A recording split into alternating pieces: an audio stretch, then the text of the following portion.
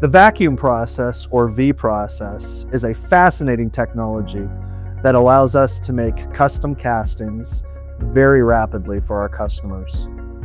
The V process allows us to put the casting in a customer's hands in less than a month in many cases. The process begins with the creation of two patterns, a cope and a drag. A thin plastic film is heated and draped over the patterns.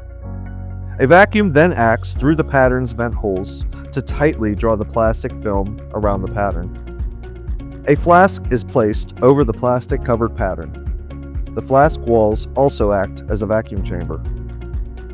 The flask and pattern are filled with dry, unbonded sand, which is then compacted by using slight vibrations. The backs of the patterns are covered with unheated plastic film. Another vacuum is applied to the flask holding the sand. Atmospheric pressure then hardens the sand. The vacuum is released, pressurized air is introduced into the carrier, and the mold is stripped. Once the cope and drag have been formed, they are assembled to form the plastic-lined cavity in the shape of the casting. A robotic arm pours molten aluminum directly into the cavity. The assembly is kept under vacuum during the pouring to retain its shape. Once the metal solidifies, the vacuum is released, the sand is cooled, and recycled through the system.